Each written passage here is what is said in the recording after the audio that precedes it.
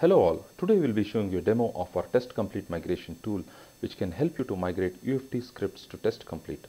In this demo we'll be showing you one of the scenarios in UFT scripts where we create a new order and then delete it from the SmartBear web orders application. Let's have a look at the source UFT projects, folders and files for the given scenario. To start the migration process, launch the Test Complete migration tool. Here on this screen you can see different tabs on the left hand side of the tool to validate the data and ensure smooth migration. In the configuration tab we need to choose the source folder which has the UFT project to be converted. After this we need to choose the destination folder to store the converted files. The destination folder can be an existing folder or a new folder. Test Complete supports different types of scripts and we can choose the appropriate script radio button for conversion from options given. In this example, we'll be choosing VB script and we will click on the continue button. We will be now navigating to Migration Manager tab. The Migration Manager tab takes care of three activities. The first is loading. It loads all the UFT files into the tool and maps them to the necessary test complete files internally. The second activity is translation. It converts the UFT files into test complete files.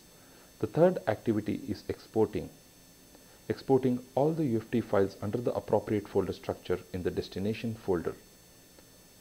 You can see the progress of each activity by clicking on the Start Migration button. As you can see, the files are getting loaded and the migration has been completed successfully. The View Migrated Files enables us to see all the migrated files. Any files which have been rejected can be found under View Rejected Files and the migration status of each file can be found under View Migration Summary. Let's click on the View Migrated Files button. All migrated files and its folder structure are displayed here. Clicking on the View in File Explorer tab will take us to the destination folder where the converted test complete files reside. Open the destination folder. You can see the following folders namely script, name mapping, log and event folder. Now let's go back to the test complete project folder.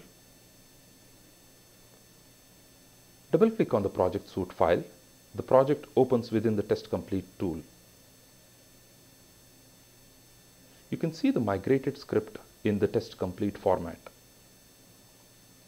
Here is the name mapping file with all the objects migrated from UFT object repository.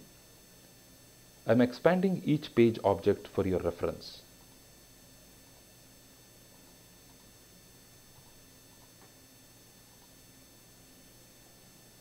Okay, let's execute the migrated script.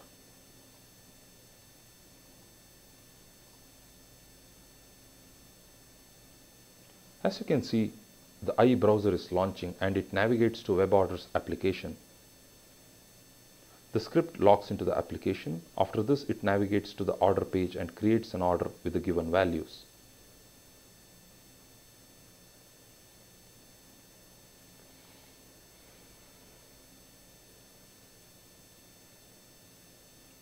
Once the order is created, the script deletes the newly created order.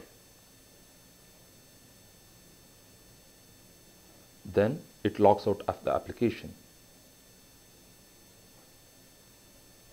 If you expand the log, you can see the execution steps and the results.